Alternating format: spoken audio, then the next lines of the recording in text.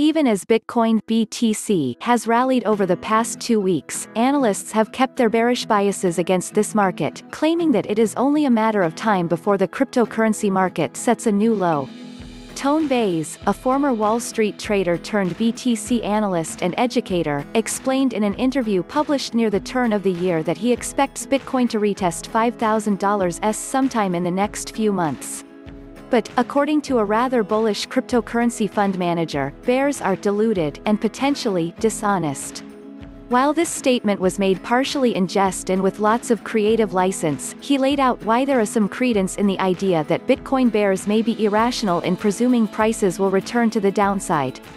Adaptive Capital's Murad Mahmudov, formerly of Goldman Sachs, recently wrote on Twitter that bears are deluded at best, dishonest at worst, drawing attention to the below chart which shows that BTC has crossed above a number of key moving averages. These are including but not limited to the 128-day Simple Moving Average SMA, 200-day Exponential Moving Average EMA, 50-week SMA, and 100-week SMA. The point in this being that Mahmudov thinks that any bears that remain are foolish for holding their negative sentiment. This comes shortly after he drew attention to a simple textbook financial markets chart, which accentuated that Bitcoin's trend is decisively positive due to simultaneous growth in the price, volume, and open interest seen in the assets markets. It isn't only the technicals that are bullish on Bitcoin per Mahmudov.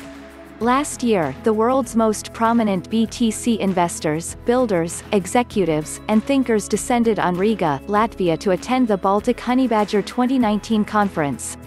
A religious experience for some, Honeybadger 2019 saw key individuals in the cryptocurrency space take to a stage to discuss the direction of this industry, the future of Bitcoin, among other ideas. One notable presentation was one by Murad Mahmudov, who laid out 50 reasons why the Bitcoin price and the adoption of the cryptocurrency are poised to explode. Some of those reasons are as follows.